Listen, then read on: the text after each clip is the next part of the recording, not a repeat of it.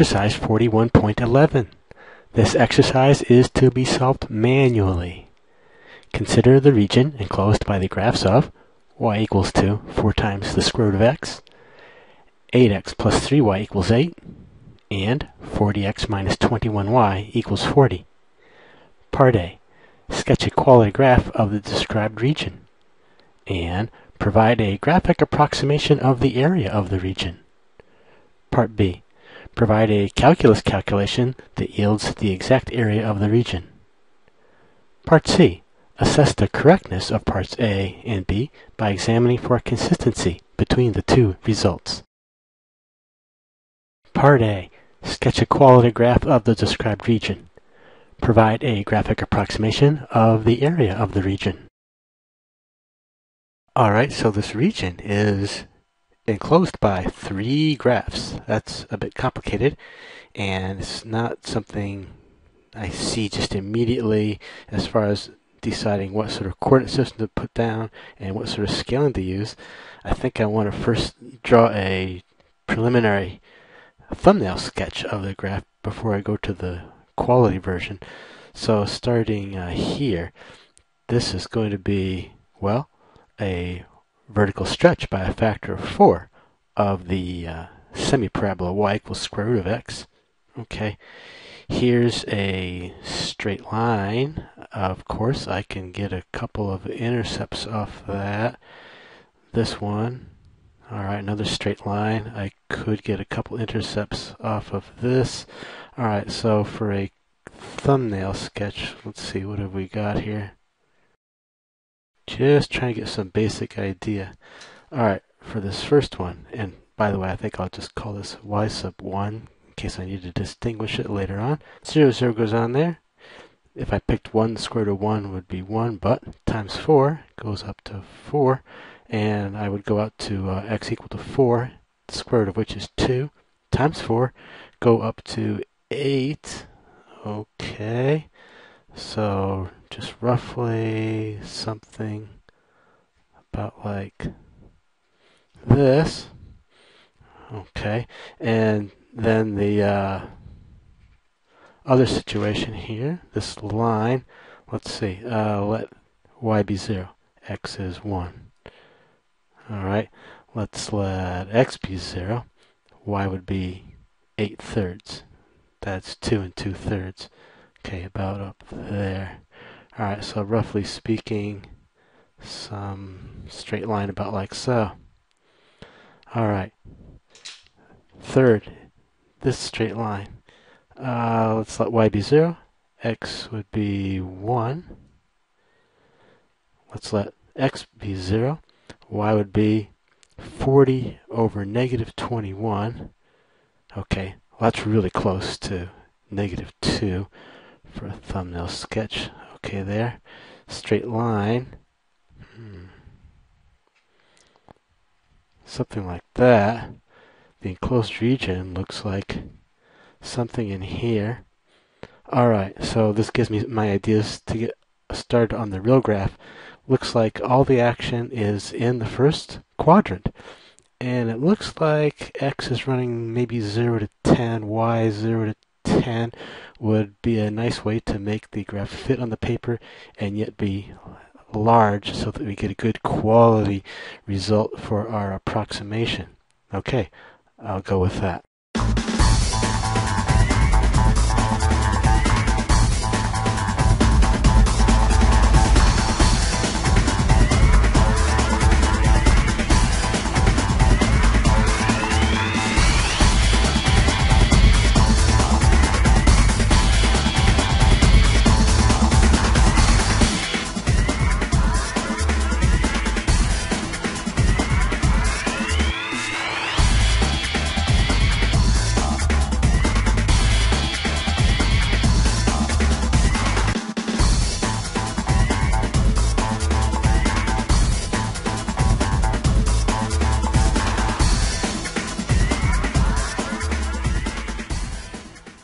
Okay, quality graph will have the intercepts with the coordinates clearly labeled. Uh, the one we have just by graphing was right here. We know this was the point one zero. but now we need to obtain this point and we need to obtain this point of intersection so now we have a couple little uh, calculations to perform looks like some systems of equations coming up let's go to that next okay first up the intersection of y equals square root of x and the blue line whose equation is 8x plus 3y equals 8 looks like this is uh, well set up for a substitution so we'll put this 4 square roots of x for every y in this other equation.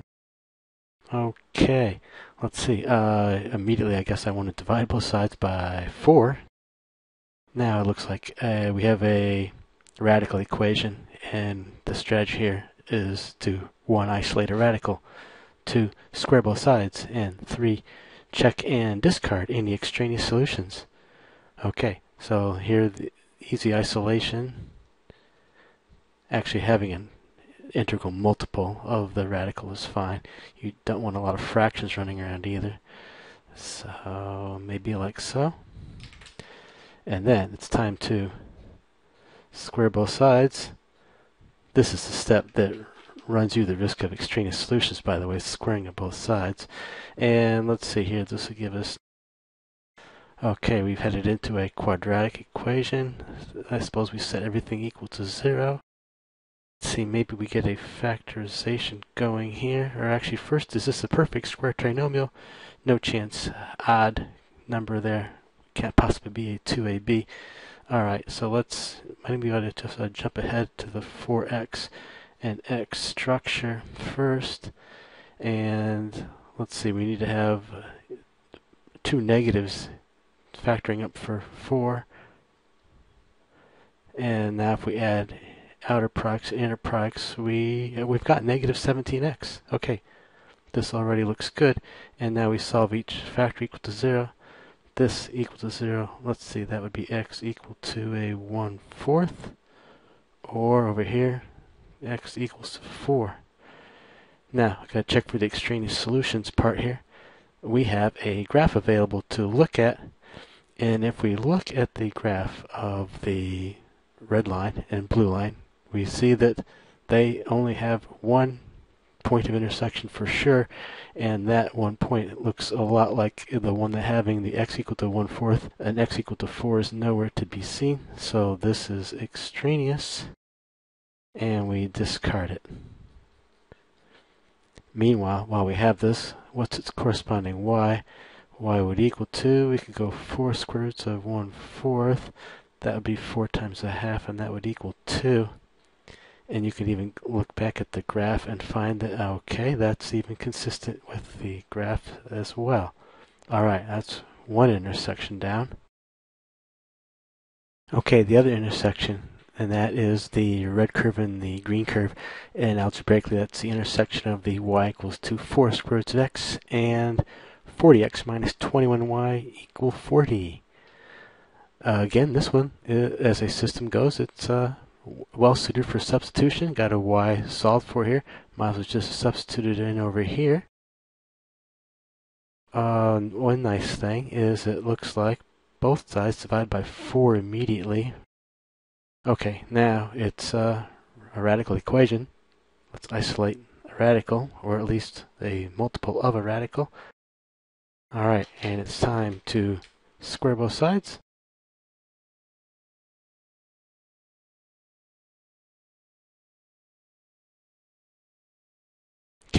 Quadratic equation. Let's set everything equal to 0. Okay, let's see. Perfect square trinomial. No chance. Odd number here. Okay, cancel that idea. Um, of course, now there are some other things here. Let's see, let's get things, let's look at the factorization of these things so we can think about all the possibilities. This is 10 by 10, of course, and that means it's 2 by 5, 2 by 5. This is, uh, what, 2 squared, 5 squared times x squared, in other words. Okay, and this is 2 squared times 5 squared, of course, 100, fully factored. Okay, let's see here. Maybe we uh, will exhaust the idea of the 10x. 10x structure. and see what we come up with. Alright, uh, let's see here. If we try, well, we could 10 and 10 we know won't work. What if we tried uh, hmm, 2 and 50? Now they have to be negative. Let's see, outer products. There's negative 500, negative 20, negative 520. Hmm, nope, not working there. Uh, minus 1, minus 100. That would be, well, negative 1,000. Okay, we've overshot. No good there. Alright, 10x 10x structure is just not working. Let's try, um, how about this? 2 by 2 and 5 by 5 together. So a 4x 25x structure.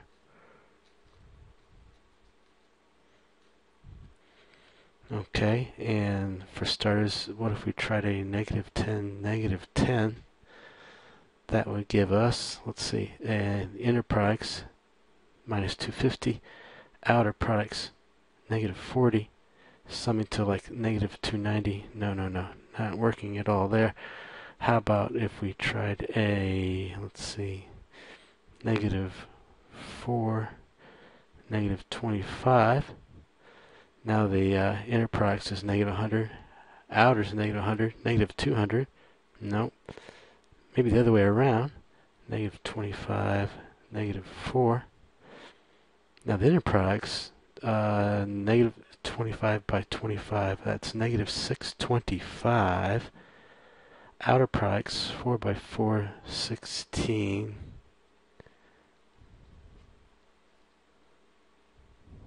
Oh, okay, there we are. This is working. Alright, so looks like we got ourselves 4x minus 25 by 25x minus 4 equals 0. We were having an equation equal to 0 here. Now we can solve each factor equal to 0. This first one gives us an x equals 2, 25 over 4, or this one would give us an x equals 2, 4 over 25. Now we have to check for extraneous solutions. We have a graph to help us. We're looking back at our graph and it looks like in the vicinity of 6 there's an intersection which is very close to 25 fourths. This is looking pretty good. This other one, 4 25ths, okay, that's almost like a one fifth or so. That's not even in sight. This is extraneous and discarded. Not a solution after all. Okay, the corresponding y that goes here, that will be, well, we can go 4 square roots of 25 fourths, and that would be 4 times 5 halves, cancel, cancel, 2 equals 10. Okay, so this gives us the point 25 fourths 10. Alright, so now we have uh, these two intersection points to label on the graph.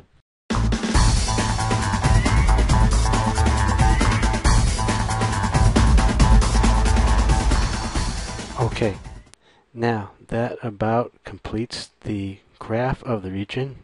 You can check to see that you have all of the individual graphs with their labels as to what they are.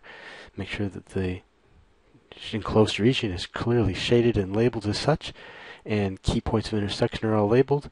And of course, as always, the axes are all scaled and labeled as well. Alright, pretty complete there. Let's go on to this graphic approximation of the area phase of this part A. And now I have to sort of size up some sort of uh, simple plane region that resembles what's sitting here.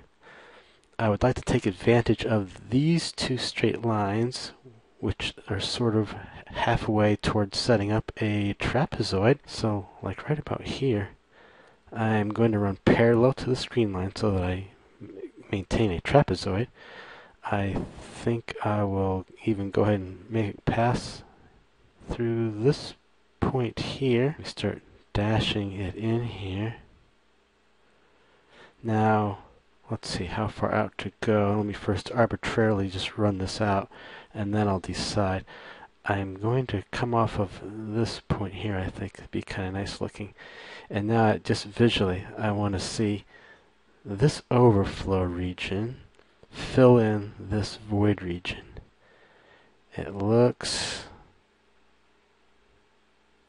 okay. I think about there will do it. So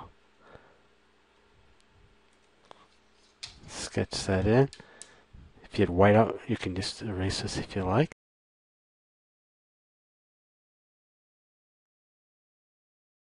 So what I say here is the area of the enclosed region is approximately that of the dashed line trapezoid, and that's equal to, okay, area of a trapezoid, just memorize it, average base times height. The average base would be 1 half of b1 plus b2, and times height, or altitude. And now I have to be a little careful here. See the axes? Scaled the same, right? 1 centimeter equals 1 unit. So I can have a trapezoid with these bases that are oblique to the x or y axis and just do ruler measurements for everything, that'll be fine. If I don't have these axes scaled the same, a trapezoid like this, I'd have to use uh, like distance formula and all and that kind of thing to accurately know how far it is between these two points. Can't just ruler measurement anymore. Okay, so this is set up for easy uh, measurement. So base 1 Okay, coming in here, looks like mm, 10.7. Base 2, mm, 7.1.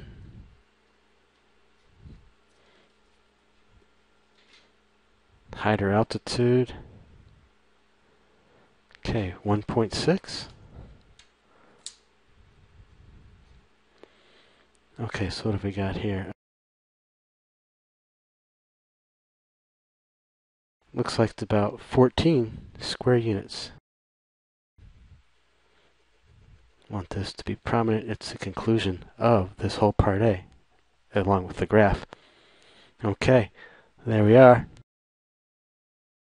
Part B. Provide a calculus calculation that yields the exact area of the region.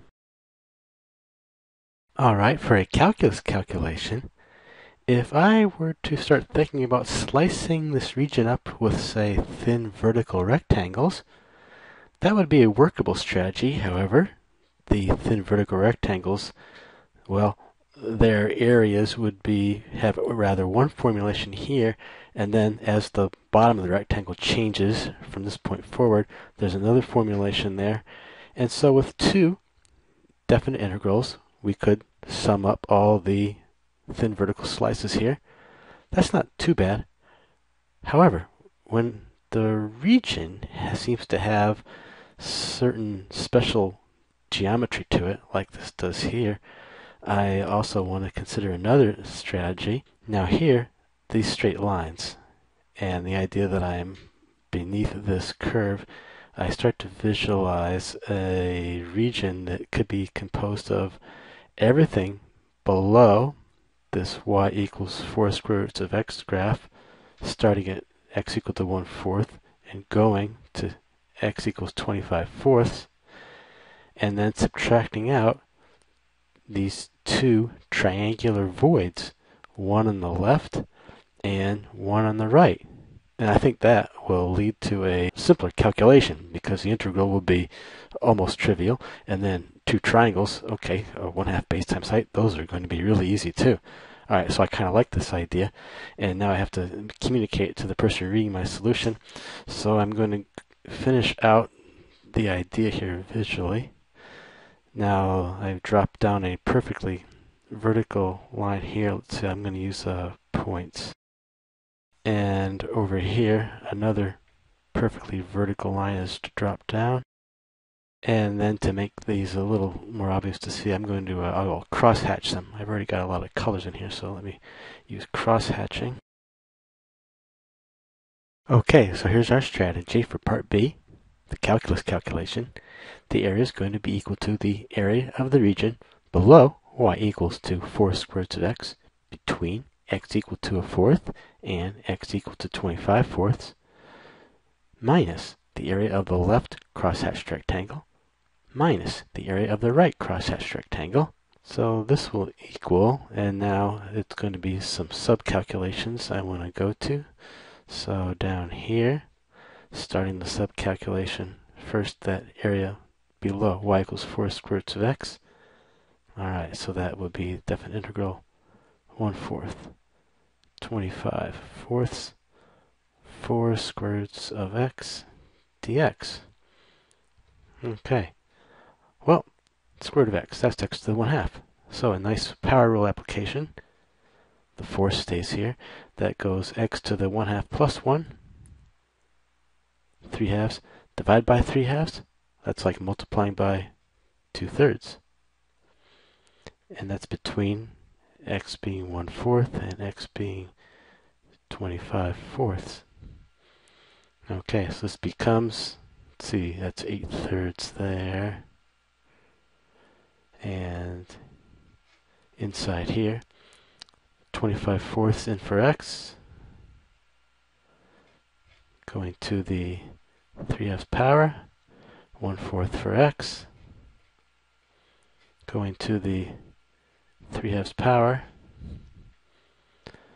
Alright, but wait a minute, 25 fourths, fortunately, happens to be 5 squared over 2 squared, or 5 halves squared. 1 fourth happens to be 1 half squared. So this goes on to become equal to 8 thirds. Now we could have 5 halves squared, then to the 3 halves power, minusing 1 half squared, then to the 3 halves power. Okay, got a nice law of exponents here. Multiply the exponents. 2's cancel out. Nice. Now it's just being cubed. So this becomes 8 thirds. So it'd be 5 cubed over 2 cubed. 125 over 8 minusing here. Same idea. Exponential law gives you the cancellation of these 2's, and it's 1 half cubed, which is 1 eighth. So this starts to look like 8 thirds, 125 minus 1, that's 124 over 8. Cancel those eighths. Uh, let's see, 124, 1 and 2 and 3 and 4 is 7. Does not divide by 3. No. Okay, no further cancellations. We're at 124 over to 3. We could carry this up into our main equation here, but as another subcalculation, here's one subcalculation, a second subcalculation. Part of this, okay, that left cross-hatched rectangle, one half base, we'll call it base 1, H1, I suppose, and one half. What about that left rectangle? That base goes from x a quarter to x equals to 1. That's a 3 quarter inch length there. Its height, looking at the graph there, that y coordinate is up at 2. Okay, so we get a cancel cancel there, and we're left over with 3 fourths. Could carry that up into the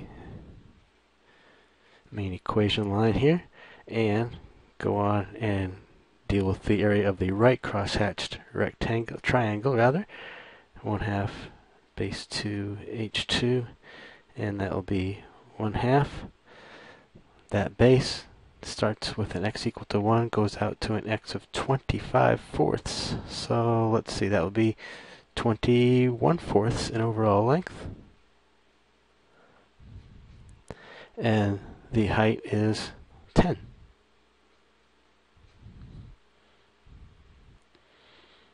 Okay, we get here cancel, cancel 5. Alright, that gives us uh, 85 fourths.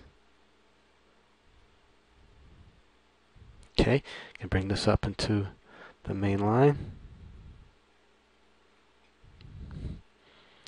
And now, let's see, the uh, all these subtractions together make a minus 88 fourths. Okay, down to uh, 58 thirds, which does not get any simpler. Call that square units. Okay. Part C.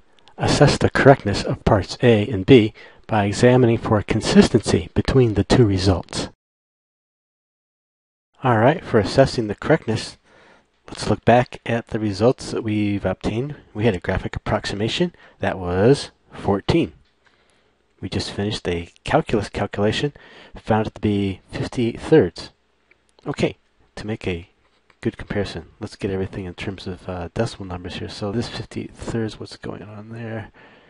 Let's see, that goes in 1, 28, 9, 27, 1. Okay, so this is about equal to 19.3. Wait a minute, 14 and 19.3. Okay, like a 10% error would be like about 2. This is, uh, what, oh, more than 5. So we're looking at uh, 25, more than 25% error. Okay, this is too big. This is inconsistent. These two results. Alright, so something's wrong. Could be in the calculus calculation, could be in the graphic approximation. Just have to go back and review everything.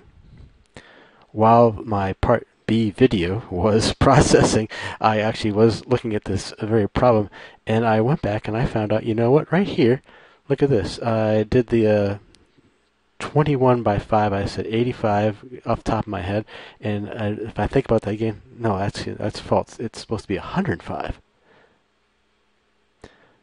105 over 4. Okay, so now that will carry back to the main equation as 105 over 4.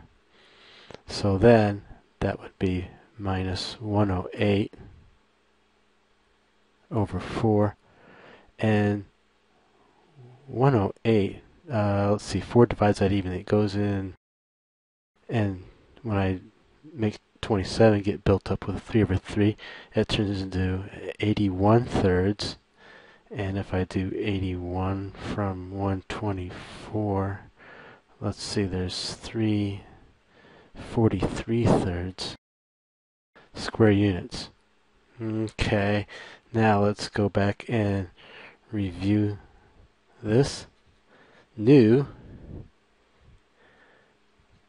calculus calculation is 43 thirds.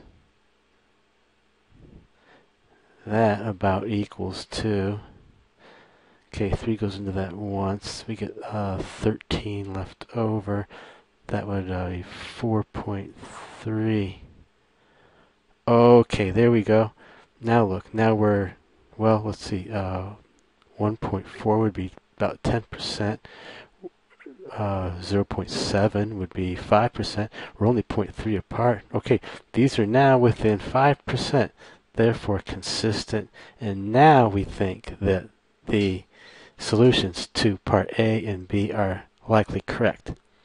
See, this is why we have the assessment of correctness, because you will never stop making arithmetics like this one here, right? No one ever stops. And so by solving the problem two ways, demanding consistency between the two solutions, you can uncover vast majority of your errors as I've done here. I could, I'm making a video, right? I could have edited out this whole this little stuff here and proceeded with uh, everything just going along perfectly fine. But uh, you need to see this because this happens. I, I didn't try to make this mistake. It was uh, it just happened to me, but I had to use my own assessment of correctness to discover it. So hopefully this will be uh, motivation to you to solve math problems properly, and that is with two solutions and demanding consistency between the two of them so then you have yourself a, an assessment of correctness. Okay, so this means we can now write this down. Okay, so here we are. The new calculus calculation yields a result that is within 5% of the graphic approximation. Thus, the two results are consistent. Therefore, the solutions to parts A and B are now likely correct. Very good. Okay.